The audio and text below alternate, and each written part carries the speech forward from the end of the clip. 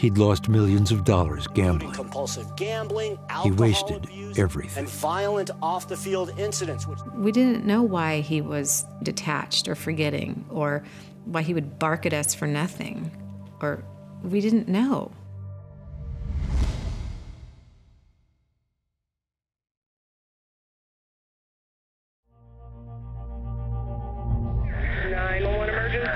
And then another death.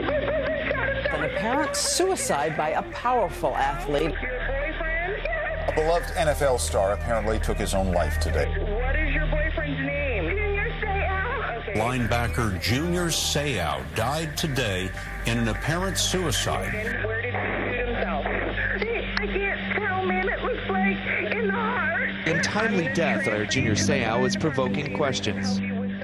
As the news broke, the question emerged. Did CTE play a part in Junior Seau's death? Here comes Seau. And he's sacked all the way back at the 40. He had used his body and his head for 20 years in the NFL. Number 55 was a hard-hitting linebacker. Pain and injury were his specialty. He even bragged about it once on an NFL film. Perfect hit is when, when you're, you're faced up, coming one on one, and you hear him go, uh. Just a little, uh. He talked about the price he was willing to pay. You have to sacrifice your body. You have to sacrifice years down the line. When we are 50, 40 years old, we probably won't be able to walk. That's the sacrifice that you take to play this game. And it had paid off. Seau made millions. He was a philanthropist, beloved in his community. But then, a familiar story.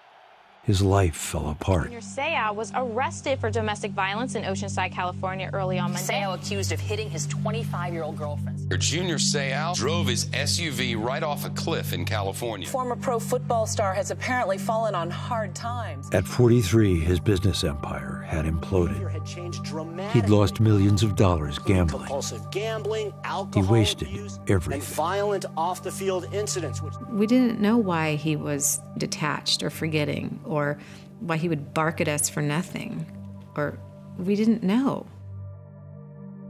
The past two years have been the roughest. And for a couple months at a time, I wouldn't hear from him at all. And that would scare me. We got really close, and you know, I feel like it's turning around. Okay, he wants to be part of my life. And then all of a sudden, I wouldn't hear from him.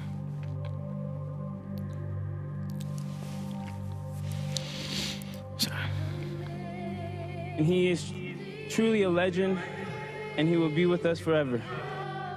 The final diagnosis in Seau's case was national news. ABC News and E ESPN have learned exclusively Seau's brain He showed had visible signs of CTE. CTE, chronic traumatic encephalopathy.